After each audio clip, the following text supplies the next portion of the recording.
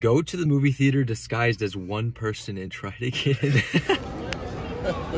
I'm like a good like eight. Yeah, at least. One ticket, please. Hey, trust me, it's not gonna work, bro. What do you mean? Thank you, man. Good luck. Thank you. We're gonna go through a door. Guys, we're not doing this tonight. I'm happy to take your tickets and refund them. Refund them? No, you need to get down. You don't like tall people? Yes or no? Yes or no? Refund or getting down? Your choice. Left.